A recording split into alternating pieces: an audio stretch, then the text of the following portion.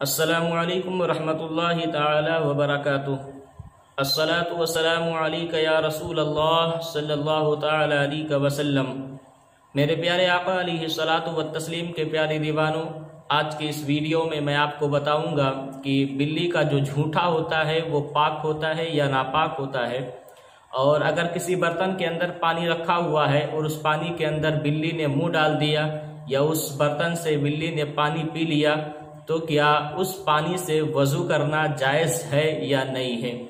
मेरे प्यारे आका अली, सलात व तस्लीम के प्यारे दीवानों, हदीस पाक में आता है कि एक मरतबा हुजूर सल्लल्लाहु अलैहि वसल्लम वज़ू फरमा रहे थे।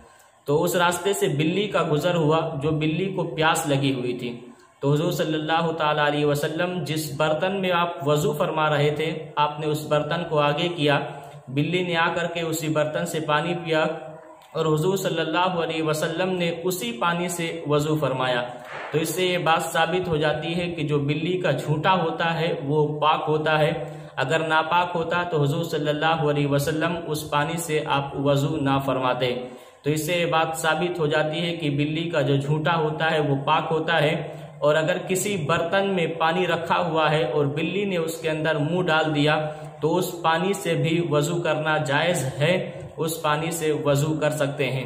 आज होता क्या है कि आज अगर किसी बर्तन के अंदर बिल्ली मुँह डाल दे तो लोग उस पानी को फेंक देते हैं, ज़ाया कर देते हैं। और अगर किसी हौज या टाकी के अंदर बिल्ली ने मुँह लगा करके पानी पी लिया तो लोग पूरा का पूरा हौज या पूरी टाकी साफ़ करा देते हैं। तो मेरे प्यारे आका अली सलात व तस्लीम के प्यारे दीवानों, ऐसा करने की ज़रूरत नहीं है। बिल्ली का जो झूठा होता है, वो पाक होता है और अगर किसी बर्तन में पानी रखा हुआ है और बिल्ली ने उसमें मुँह लगा करके पानी पी लिया तो आप उस पानी से वज़ू कर सकते हैं। उस पानी से वज़ू करना बिला कराहत जायज़ है। तो मेरे प्यारे आका अली सलात व तस्लीम के प्यारे दीवारों, मुझे उम्मीद है कि मेरी बात आपके समझ में आ गई होगी। अगर आपको कोई डाउट है या आपके जहन में समझ में बात ना आई हो तो आप कमेंट करके पूछ सकते हैं। इन आपको जवाब ज़रूर दिया जाएगा। और इस वीडियो को ज़्यादा से ज़्यादा शेयर करें ताकि लोगों तक सही इल्म पहुँच सके और लोग सही मसले से आगाह हो सके। मेरे प्यारे आका अली सलात व तस्लीम के प्यारे दीवानों, अल्लाह तबारक वाली हम तमामी लोगों को इल्म दीन फैलाने की तोफ़ी को रफ़ी अता फ़रमाएँ। असलकम वरहमल वर्का